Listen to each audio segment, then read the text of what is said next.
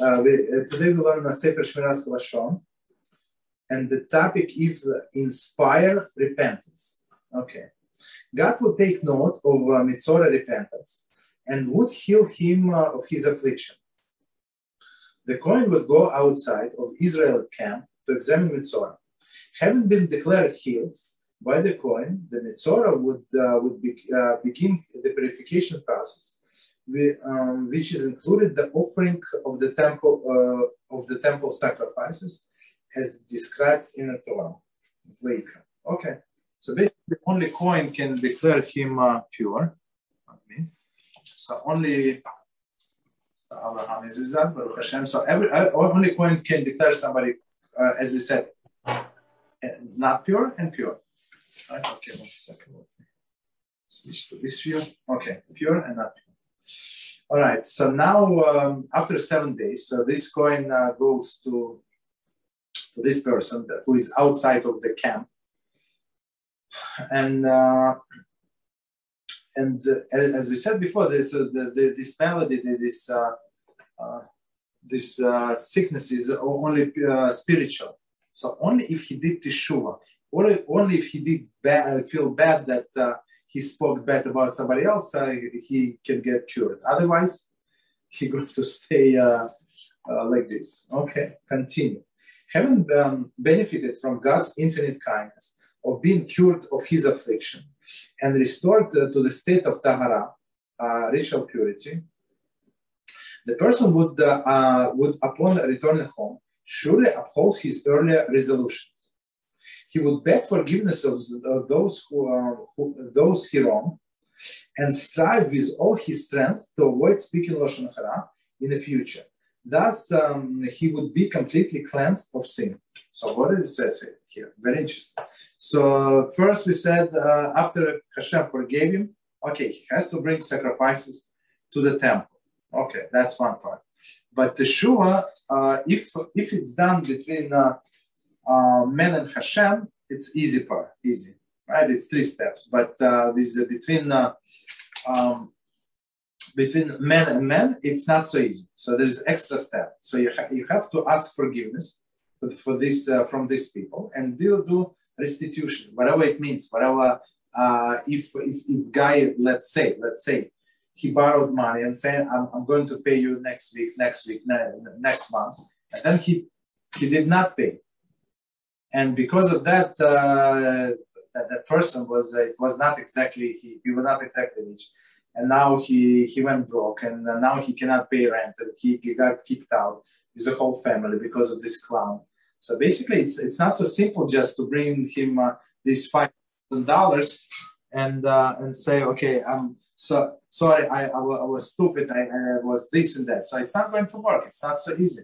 So he, he would have to like, uh, of course, ask for forgiveness. That's one thing, but uh, try to uh, like recompense the person. So maybe he went into that, maybe like, uh, but some things it's impossible to fix.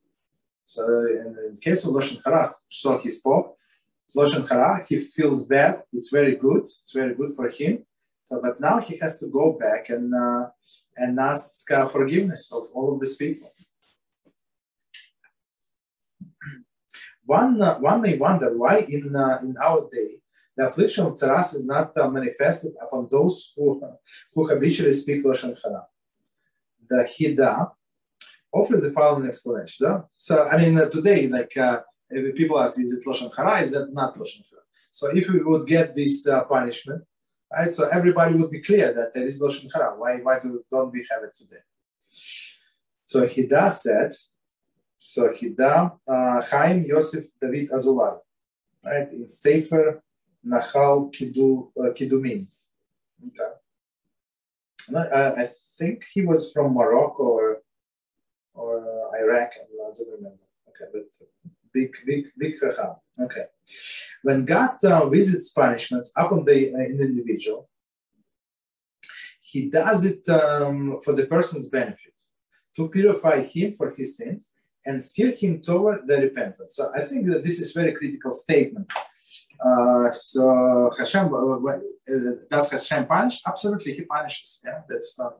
So like, uh, like some some people say, no, Hashem does not punish. He's mer- he, he is merciful, but uh, one does not exclude the another, right? So he punishes to bring person to repentance, to bring him to, to the right path, right? So okay, so there is no uh, contradiction, and to purify him from from, from his sins. So for, for some people, like uh, I don't know, I said a few times in my life that people like pretty normal. So somebody is sick, so and say let's uh, somebody said please, please pray for his refuah shlema. I say I'm going to pray if he agreed to take something upon him. If he's going to take, I'm going to pray. We're going to launch in his merit, but uh, but if he's not going to accept something on himself, it's better for him to stay sick. At least when he's in, uh, in a bed, he's not going to do all of the sins uh, that he was doing. It's better for him. It's not I wish bad on somebody else. That's for sure. I wish him only only bad or only good. Can I ask a question? Yes. Um, when it comes to doing refuah shlema for someone, are you allowed to do it for someone who's not Shomer Shabbat and uh, for a goy? That's, the problem. That's uh, that's exactly what, what, I'm trying to explain. That's a big problem. So I'm I'm going to pray to Hashem to put my merits on right on online for for that person to get well, and he's going to go uh, go to, to the bad ways. So in some sense, I'm accomplice to, to the crime. It's not for if it's let, us say I don't know, I'm not the tzad, but let's say all of our Torah combined that, that we combine learning together, it has, has some merits for sure. Group uh, when we study in group for sure special merit. That that person get well and he went back to his Christine. Whose whose fault is it? It's your and my fault exactly. You understand? Right. So let, him at least promise to, to take something upon upon upon himself. Even, even something small, it does not have to be big. Like at least uh, watch watch this lecture you understand? So, so people, people think it's like, uh, what is it? It's uh, focus focus. I, I asked this guy and he, he read these old books and he going to say whatever mambo jumbo and uh, I'm going to get well. Go back, back to my Christine, all of this, uh, do all of these things. So, I mean, I said a few times in my life, people were shocked, but I said, that's how it works. You want to easy way? There is no, you, you, you, you, you, you ask Santa Claus, maybe he's going to help you. You understand? But Judaism is not like that. It's, it's, it's serious business. I, show you the verses in the Torah, so all of these curses, and I, you, you just make a copy on, on a language that uh, they do, do understand. You make a photocopy, you send it to them. That's what Hashem said. You go against him. That, that's what you got. So well, what is the surprise? Other, uh, uh, opposite, you have to be glad that it's happened to you because Torah is true. Now, so now you, you're living proof that Torah is true. So no, no doubts. Unless you want to be in doubt. You want to be in doubt? Without me. And sorry, does that still apply to goys as well, to Gentiles? No, uh, it, it, depends who. Okay, so if it's a righteous Noahide, you can pray for him, righteous Noahide. But if he's idol worshiper, why would he do that? You understand? So some, sometimes people, I have a list. some people try to push uh, this list uh, people that I want to add. So I mean, it's not not such an easy business to be in charge of the list. Understand? you. Okay, you're welcome. Continue. Um, so, so he does says, so one, one, one more time, he, he does say, so that's very beautiful. When God visits the punishment of, upon the individual, he does it for the, uh, the person's benefit. He, he, Hashem doesn't have grudge against anybody. He, he loves everybody very much he wishes only the, the best. But some, for some people, it's the best to stay in bed and do not go out. That's, uh, I mean, at least they can uh, keep Shabbos. You understand? And and if if so, I I told I told the, another guy, I, no, no, yeah, another guy. So I, I said to him, so look, and now you, I, I asked you five times to keep kosher. You said no. So now you're in bed, you're sick, so you're allowed to keep to eat not kosher. You understand? Because you again, it's good for you, so don't uh, don't be surprised. So sometimes you need to shock people. Otherwise, like they think like they'll uh, they, they make joke out of everything. Okay.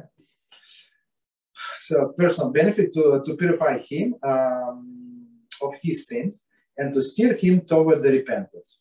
Now it was only during the temple era that Metzora could attain Tahara purification.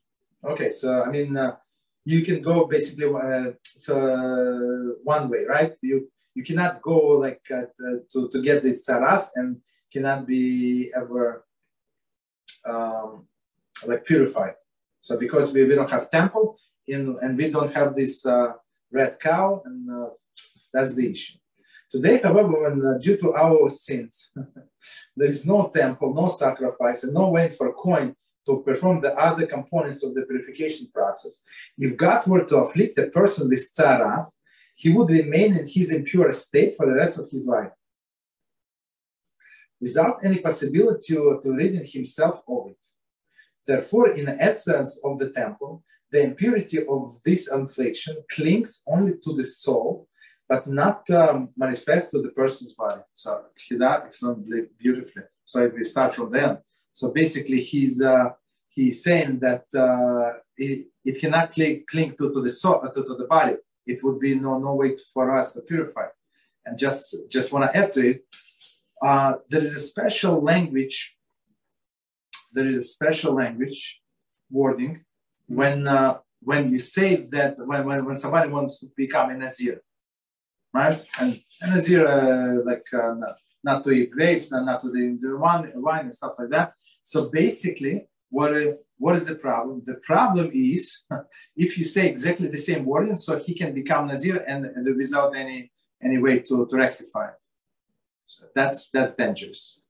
So we have to be very, very careful but uh, yeah, okay. Yeah, does Nazir, does it also apply on Shabbos so we can't have Kiddush or no?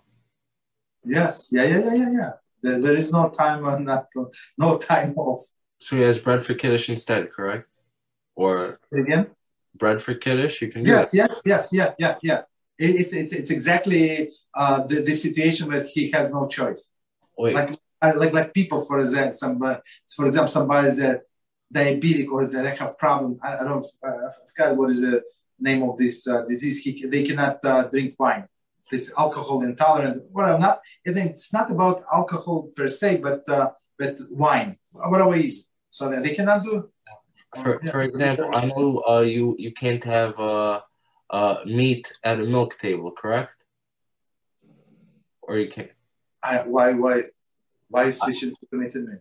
No, no, no. I'll, I'll explain to you right now because I want to say then how can he have, uh, let's say, how can he eat on Shabbos with people around him who have, you know, grape juice, let's say, or wine around them? You see? No, but but it's it's it's not like it's evaporates and goes to him. It's uh, they, they can drink whatever they want. He's just a little careful and he drinks I- whatever. No, I don't, I don't think. Any, I mean, uh, it's it's a separate subject. We're going to get to it. If you allowed allowed to eat meat and milk at the same table. Can I say something? Yes. I think it says in Shulchan Aruch, if the person you is, is like a, a stranger to you, you can do that because you won't have that intention to eat from his plate. Yeah. If it's your spouse or your friend, then you will say, "Oh, I want to eat from their plate." They'll, that's kind of like a fence around a fence. Okay. Yes. we'll get to that, I think. Yes, yes, we get to it. But uh, basically, you're right. Me, me personally, I, I never ever took a, a- anything from anybody's plate. That's it's like. But but some people, I think that they uh, I they, they feel free. I mean, in my family, it's uh, no nobody takes from anybody's plate. Me too. But uh, are you allowed to do that with fish and meat? Fish and meat. What, what do you mean? And at the I same. I know some uh, customs in I think Sephardic customs. You No, it's, it's, it's, a, it's a Jewish custom. It's a sakana. It's a danger. The danger to, to eat uh, meat and uh, and uh, and fish from the same plate. Okay, but But you, you, you can do uh, one after another. So I mean, if, if you do, if, if you're not going to mix it, for example, so you, usually people have uh, on Shabbat they uh, usually have fish table, and then they switch and they have soup or whatever, and they have uh, this uh, meat table, right? Meat, meat, meat, meat dish. So if you have soup, there there is no problem whatsoever. So you, you can break break between them. But sometimes, for example, they don't, don't have soup. Uh, let's say Friday night, so they have fish, whatever they have fish. So the, the guy came late and he wants to eat fish, but they uh, it's uh, one hour later, so they, everybody wants to eat meat. You understand? So he can eat fish, and then uh, he's not going to touch meat, and that's it. They can uh, they can be at the same table. there is a, there is a there is no prohibition. Thank okay. you. You're welcome. All right, so let's uh, let's continue.